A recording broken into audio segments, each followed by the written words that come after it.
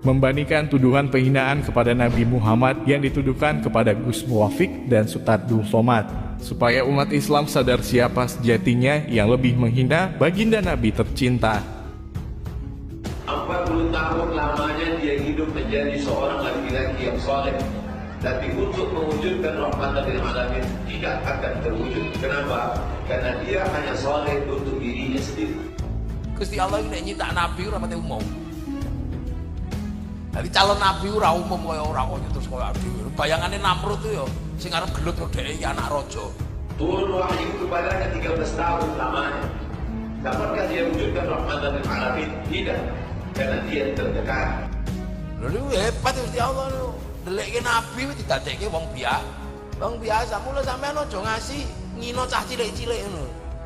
Anake dhewe kadang rembes, ngono kok gedene ya ora ngerti dadi apa ya ora ngerti roh. Tidak akan ada yang dapat mewujudkan rahmatan lil alamin selain daripada khilafatul nubuwah, khilafah ala minhajin nubuwah. Jadi ini pelajaran carane Gusti Allah. Delikno nabi dadekke menungso biasa. Coba nek cilikane terus kaya ponari. Wah mesti konangan. Pateni mesti. Kono sing critake nabi lahir bersinar tekan langit. Lah nek ngono digoleki karo wong Yahudi pateni. Biasa mawon lahir. Cilikane rembes wong melunggah gitu. Kapan rahmatan lil alamin itu baru dapat diwujudkan? Bukan dengan kenabian, bukan dengan Al-Quran di tangan, tapi setelah tegaknya khilafatul nubuwah.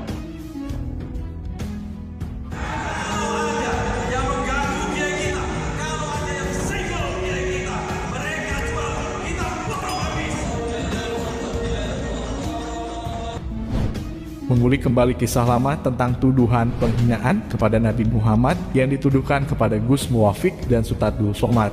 Topik kali ini sesungguhnya bukan bermaksud mengungkit kembali kasus masa lalu yang berkaitan dengan tuduhan penghinaan kepada Nabi Muhammad yang dituduhkan kepada dua pemuka agama Gus Muwafik dan Sutadul Somad.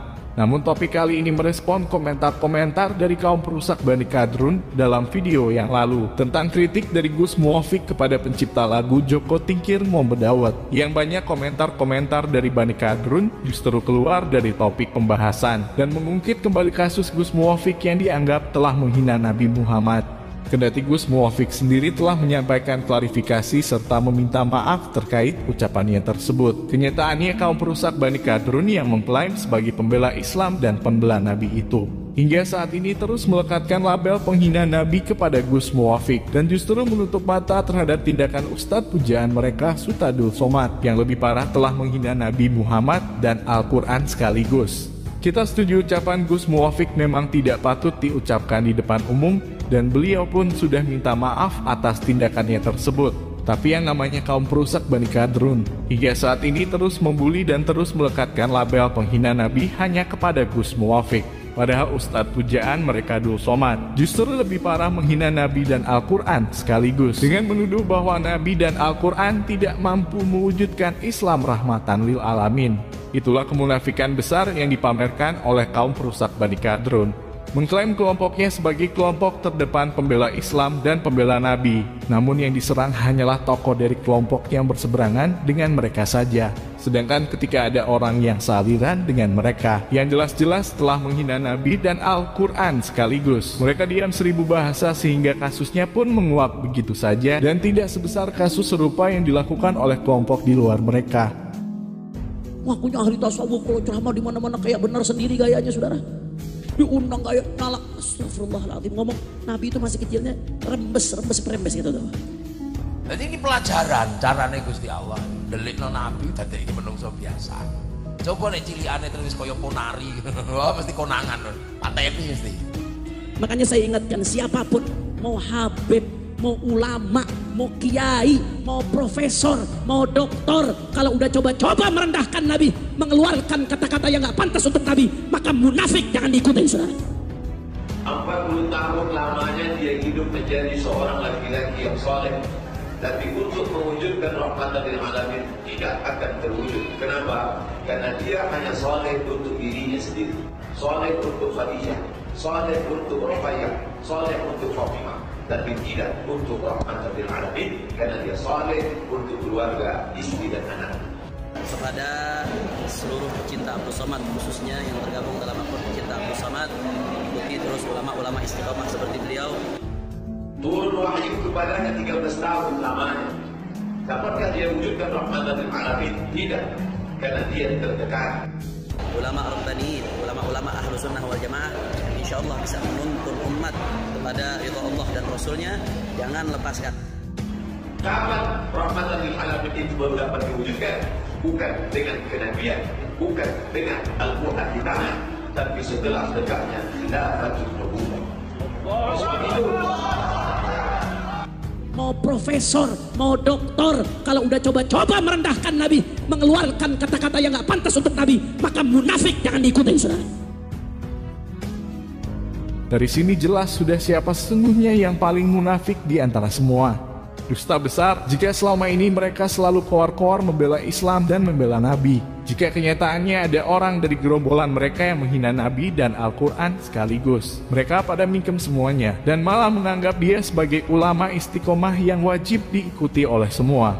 Dusta besar jika gerombolan mereka mengklaim yang terdepan membela Islam dan membela Nabi. Jika pada kenyataannya yang mereka serang hanya tokoh-tokoh yang berseberangan dengan gerombolan mereka. Namun diam seribu bahasa ketika ada bagian dari mereka yang menghina baginda Nabi tercinta.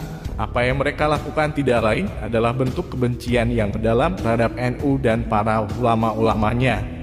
Selamanya mereka akan terus berusaha menjatuhkan NU dan para ulamanya akibat kedengkian mereka terhadap Nahdlatul Ulama yang menjadi organisasi Islam terbesar di dunia. Hanya orang bodoh dan orang yang tidak punya akal sehat jika menganggap gerombolan kaum perusak Bani Kadrun adalah kelompok yang sungguh-sungguh membela Islam dan membela Nabi. Jika dilihat dari konteks apa yang dikatakan oleh Gus Muafik dan Sutadul Somad, terlihat jelas siapa di antara keduanya yang sejatinya telah menghina baginda Nabi tercinta.